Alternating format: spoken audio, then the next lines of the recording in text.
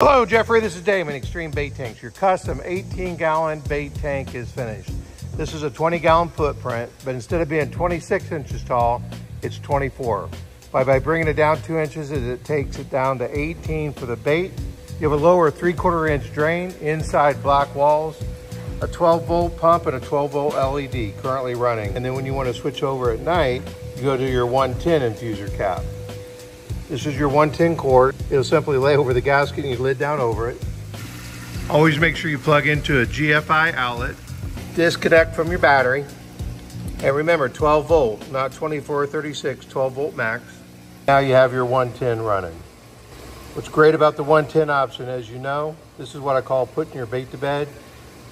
These 12 volt pumps are not designed for continuous run, so it gives your pump a break. You can sleep well knowing your batteries are charging, your bait's good, wake up and repeat. This is your skimmer. The real purpose of the skimmer is if you ever get a bait jam down below and this water starts to rise, the skimmer gives the water a place to go so you don't wake up to a dead tank. Serial number in the top right hand corner for identification purposes. And there again, you'll see 18 gallons. In the back, you have a single standpipe that goes into two filter socks and a skimmer. Never let these bags dry dirty. When you're done, turn them inside out, rinse, and repeat. Two quick connects for your 12 volt pump and light. I'll send you with a two to one pigtail and alligator clips to your battery. QR code for the online manual. We're to box this up headed your way. As always, if you have any questions, give us a call. Until then, we hope you have an extreme day. Hello, Jeffrey, Layne, and Bob. I'm Damon Melcher with X-Treme Bait Tanks.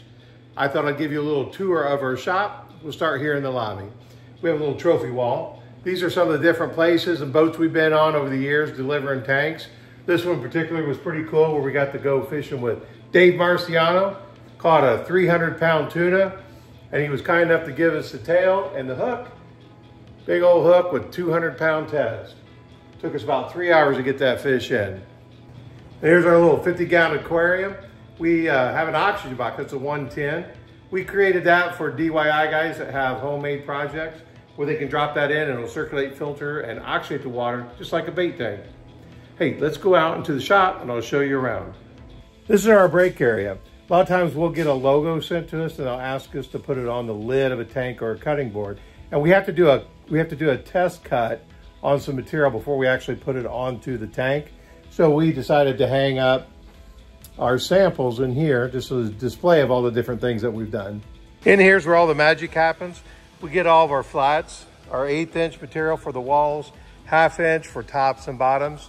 There's our router where we custom cut everything. And then we shelf the pieces. And what Vern's doing over there is the welding process. It's a multiple stage process. The first thing that we do is we put the inside wall in. And if you recall, there's two walls, an inner and an outer. And this line here is where the second wall goes in. That creates that one inch air pocket. Once this wall is put in and welded, we'll soak it in water overnight to ensure we have a watertight weld. And here's an example of the two walls together getting ready for the cap. This is the time that we add drains because we have to put a hole through an air pocket. And what Vern's doing here is he's welding the wall that separates the bait from the filter area. This space over here is Wayne. He's our finisher. We'll get the ticket on the tank and based on how it's ordered, where the drains go, what kind of pumps, the wiring, Wayne will finish that out. Hey, Wayne. Yes. Say hi to Jeffrey, Bob, and Layne.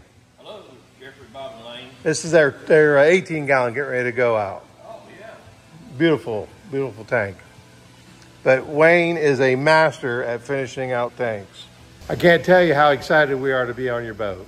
As always, if you have any questions, do not hesitate to give us a call. And until then, we hope you have an extreme day.